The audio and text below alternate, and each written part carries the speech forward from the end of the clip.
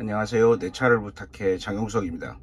오늘은 정비 영상이 아니라 테슬라에 관한 영상이에요. 테슬라의 업데이트가 한 번씩 뜨죠. 지금 여기 보면 이렇게 화살표로 업데이트가 떠 있어요. 이 업데이트를 누르면 와이파이에 연결하라는 메시지가 이렇게 떠 있거든요. 그래서 와이파이를 눌렀을 때 지금 현재 오류가 와이파이가 꺼져 있대요. 그래서 와이파이 설정을 누르고 켬을 누르면 안 켜져요. 와이파이가 꺼져 있대요. 어, 소프트웨어를 업데이트를 하기 위해서는 와이파이가 연결되어 있어야 하는데 안 되고 있고 이 부분에 대해서 문의를 해보니까 이게 펌웨어의 문제라고 하더라고요.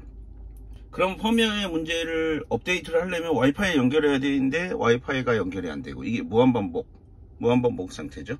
얼마 전에 소프트웨어가 업데이트 되기 전에 트렁크가 제 작동을 안 하고 블랙박스가 제 작동을 안 하는 문제가 있었어요. 그래서 업데이트 하고 나서 해결이 됐는데 이번에 소프트웨어의 이슈는 바로 이 와이파이 와이파이가 안 잡히는 이슈가 있어요. 제가 이제 서비스 센터에 전화를 해서 물어봤더니 차대 번호를 한번 보내주면 LTE로 업데이트를 할 수 있게 파일을 보내준다고 하더라고요. 개별 파일을.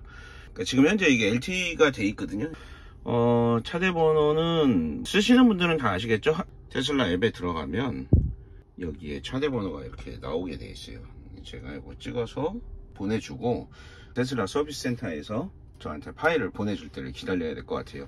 저랑 같은 이슈가 있으신 분들은 어, 지금 업데이트가 안 되고 있으니까 테슬라에 전화를 하셔서 이 부분에 대해서 얘기하시면 파일을 보내드릴 거예요. 참고하시라고 영상을 만들었어요.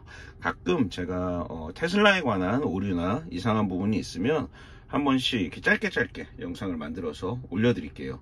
시청해주셔서 감사합니다.